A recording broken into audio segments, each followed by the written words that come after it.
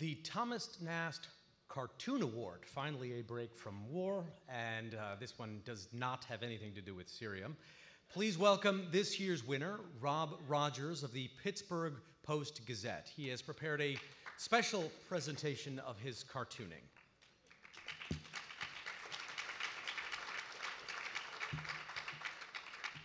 Uh, thank you very much to the OPC and to all of you here tonight. Uh, before we get into the funny stuff, I just want to say that, uh, you know, as someone who works from the safety of my drawing table, uh, let's give a, a, round of applause to all the people who really risked their lives here as journalists.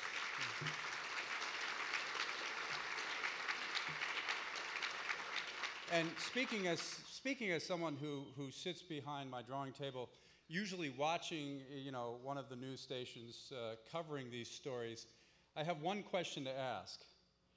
Richard Engel, what are you doing here? Shouldn't you be in Egypt or Syria or somewhere? I mean, what, what's going on, man? Uh, all right, so I'm going to switch over here and, uh, and show you some, some cartoons. Um, I, I, imagine that I'm the only cartoonist in the room tonight. Is that, is that true? Uh, okay, so I thought I would give you a little bit of insight into the mind of a cartoonist. Um, before I ever get a cartoon in the paper, I actually have to get it past my editor first. And as you, as you can imagine, as some of you are, are journalists and work for newspapers and, and TV stations, you know, editors can be, can be bears, you know. And so, uh, so I, I, I, did a little diagram showing the difference uh, between a cartoonist's brain and an editor's brain. So first we have the cartoonist brain. Now, the biggest thing on the cartoonist's mind is basically toilet humor, followed by winning a Pulitzer, keeping his or her job. Uh, I guess that could be winning the OPC award. Should yeah. Uh, thank you. Uh, keeping his or her job, and that tiny, tiny little part of the cartoonist brain that is taste. All right, now we have the editor's brain, and he's got a lot more things on his mind uh, or her mind, uh, thinking of things like not offending the readers, uh, keeping the publisher happy, winning a Pulitzer again, uh, kissing up to advertisers, the bottom line, and that tiny, tiny little part of the editor's brain that is sense of humor. so you can see there's quite a there's quite a difference in these two. Um, so, but these these are now now what happens is sometimes cartoons get killed because my editor doesn't see things the same way I do. But here are a few that actually made it into the paper and these first few uh, were in my portfolio uh, for, for this award. Uh, here we are in Syria, and uh, the UN uh, soldier is saying, uh, Sorry I'm late, but these harshly worded denouncements don't write themselves.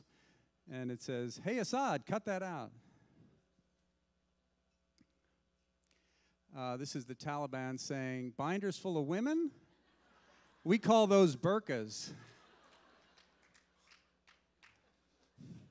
Now, sometimes cartoons just like jump out at me from, from watching the news. And when I was watching Netanyahu give his presentation at the UN, uh, I, I, couldn't help but laugh when he, when he pulled up this, this big you know, foam core poster with uh, this bomb on it, uh, outlining you know, Iran's nuclear capability. And of course, immediately I went back to my childhood thinking about my, the Warner Brothers cartoons I used to watch. So I drew this cartoon. Here's uh, Ahmadinejad, and he's saying, okay, who leaked our nuclear bomb design to Netanyahu? And of course, there's, there's Wiley Coyote there at the end.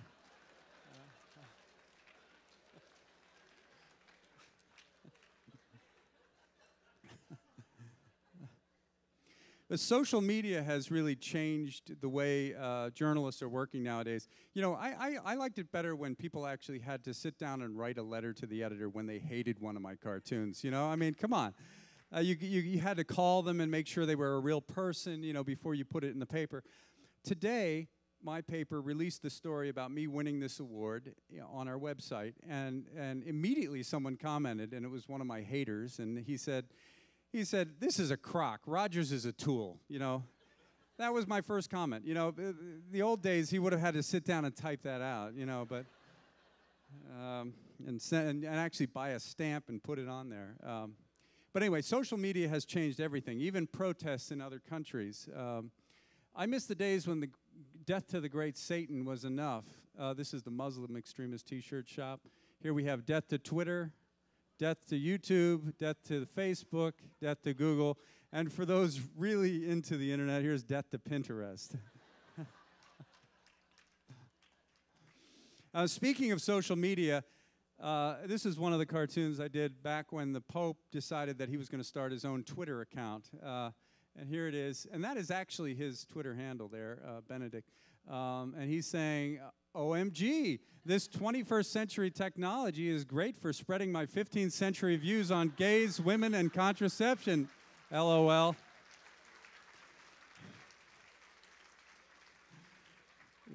Wait, wait for it. Hashtag say 10 Hail Marys. now, as you might expect, Pittsburgh, Pittsburgh is a very Catholic city, and I get into trouble whenever I draw the Pope. So I thought I would show you one of the cartoons that did not make it into my paper this year. Um, this was when the Pope decided that he was going to retire. Uh, and, and, and the bishop in Pittsburgh calls my publisher all the time. So, so that's why this cartoon didn't make it in. But um, I, actually, there were two that didn't make it in, but this is just one of them. Um, so we have this is uh, the Pope retires, and it's it's not in color because I never got got it finished before he killed it. Um, here you have a sign, no gays and contraception free zone, and, and Pope Benedict is saying, hey, you progressive Catholics, stay off my lawn. Thank you. Yeah, it's not that bad, really, but, but uh, the first one was worse than this. I, I didn't bring that one, but, um, uh, but anyway. Um, so, so anyway, I, I, had drawn two cartoons that day, so I had to come up with something really fast. And surprisingly, it ended up being a good cartoon, even though it was three o'clock when I was drawing it. And it was this cartoon here. Uh, it's Kim Jong Un, and the guy's saying he has his father's eyes. Uh, there you go. And uh, to finish up, uh, I just thought, wouldn't it be great to look into the, you know, Obama's starting all this, you know, brain mapping and everything. So let's let's look into the mind of Kim Jong Un. Uh, the largest part of his brain, he's concerned with uh, giving wedgies to America. You know, uh, enriched uranium. That's that makes up a lot of his brain there. Uh, he has a man crush on Dennis Rodman very preoccupied with that. And that tiny little part of his brain down there, that is sense of reality. Now, of course, if he keeps going the way he's going, this is going to be the end result here. So, uh, all right, thank you very much.